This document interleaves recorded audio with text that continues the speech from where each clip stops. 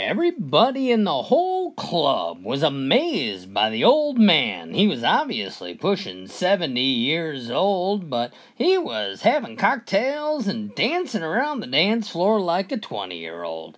Well, finally, curiosity got the best of one of the young ladies there. I beg your pardon, sir, she said. I'm amazed to see a gentleman of your age living it up like a youngster.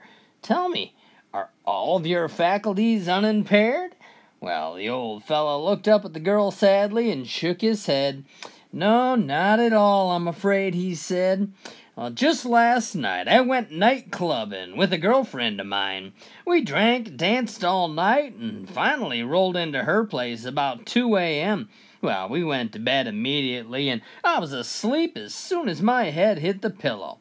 Well, I woke up around 3:30 and I gave her a little nudge, and she looked at me and says, We just did that 15 minutes ago. So you see, the old guy says, I guess my memory's starting to fail me.